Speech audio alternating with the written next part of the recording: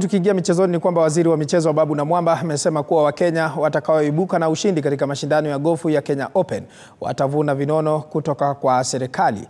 Pia kampuni zinazofadhili na kue, kuwekeza katika sekta ya michezo zitapunguziwa majukumu yao ya ushuru. Na Mwamba alikuwa akizungumza wakati wa uzinduzi rasmi wa mashindano ya Magical Kenya Open katika klabu ya gofu ya Muthaiga jijini Nairobi.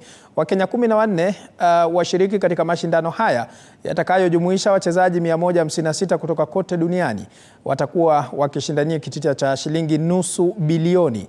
Kwa upande wa kinadada, timu ya taifa ina wachezaji watano watakaoshiriki Kenya Open kwenye uwanja wa Baobab ulioko Vipingo Ridge, kaunti ya Kilifi. Mashindano haya yanang'oananga yana wiki ijayo. Got off to a shaky start and a bit of a shaky finish, but managed a few great birdies out there in a round of 79, six over par, so hovering around the cut mark.